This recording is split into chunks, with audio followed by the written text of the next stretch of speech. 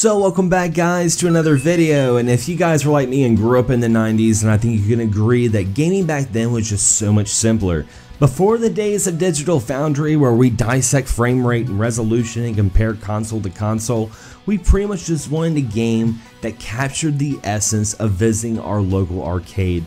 Arcades were the mecca of pure gaming experiences, so whenever we heard that an arcade game was being ported to the console, we were very happy, and some games did really well, some of them were complete garbage, but some of them are going to be what this topic is today, and some of those games are actually better, in my opinion, than its arcade counterparts. The first game being a Nintendo staple is Punch-Out. Many hail this as one of the best boxing games on any platform, whether it's nostalgia or the fact the game featured a stellar learning curve to study each opponent and become the champion. The arcade version, in my opinion, is far less superior than the NES port. To be honest, it's the style that really catches my eye. Actually seeing Little Mac instead of a green wireframe was just more pleasing to the eye made me feel more connected to Little Mac. Not to mention, if you played the recent re-release of Punch-Out Arcade Archives on the Switch, you'll notice the NES controls on the port seem far more user friendly and overall a better port. Just like the soon to be champ, I was rooting for the underdog. Contra is a run and gun game that many watchers need no introduction to. You guys know this game like the back of your hand, or should I say the Konami code. But many have more fond memories of the NES port than the arcade. I have to say the arcade port just looks awkward. The color palette is oddly placed, making it look a, like a melted crayon left in a car in the middle of July. It's muddy. Where the NES version, while making the sprite smaller, the game just looks better, and the NES gamepad feels more solid to me compared to the arcade stick, and it really shows that sometimes less is more. Strider is one of my favorite Capcom classics. I actually really love the arcade port. It's just some fast-paced, flipping, awesome action that will always earn my quarters. But a personal opinion, I actually really like the NES version. See, Capcom did something different with this port. Didn't try to emulate your time at the arcade, but tailored to the single player console experience. It's a much more solid story as well.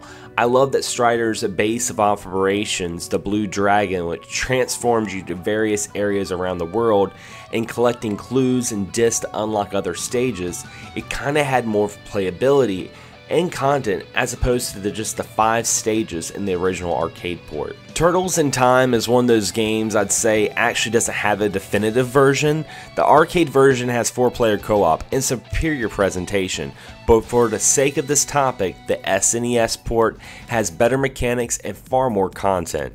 Adding new bosses like the Mecha Turtle, they also changed the Cement Monster to Slash, which was a huge improvement, and moved Tokka and Rahzar from the pirate ship level to the new Technodrome level, and replaced them with pirate versions of Bebop and Rocksteady, which I really liked. They also added the underrated bad guy, the Rat King, to the sewer surfing level. Both versions are great, but maybe it's nostalgia taking the wheel on this one because I really prefer the SNES version. Cotton Fantastic Night Dreams is what many will refer to as a cute 'em up, but I like to use the term cuter shooter, where you control a witch and just blast a bunch of bad guys, nothing deep in story, nothing crazy exciting, but the art is fantastic and I absolutely love the soundtrack. The arcade port is great and it's one of my favorites from Sega, and I thought, until I played the port on the Sharp X68000. The music isn't as good, but the frame rate is so much better, which is crucial for a game like this that requires fast reflexes. Somehow the graphics actually look sharper. but no really, this version is a must play if you want the best experience. Bionic Commando, an interesting platformer from Capcom that used an interesting take on the genre that required using your arm to swing through pitfalls as opposed to the normal jumping mechanics we all knew at the time. Many will commend the arcade port for the fact that it's not censored, and nothing feels better than killing Nazis. But really, the NES port is a much better title. I feel like the controls are a lot more solid, the hit detection is better, the graphics I like a little bit more, and to be honest, the story has actual cutscenes that made the story much more of an experience that may be a norm today, but was really something special back then. So anyway guys, those are some games that I felt were better than the original arcade port and this is where I want you to come in, leave a comment below and tell me some games that you felt were better than the arcade. I'd love to hear from you and we can comment, discuss, and debate. It'll be a really fun time. And if you enjoyed this video and want to keep supporting the channel, be sure to hit the bell. It's going to be beside the subscription button, and this is the only way to be notified whenever there's new content coming out on this channel. Anyway, guys, as always, thanks for watching, thanks for subscribing, and as always, happy gaming.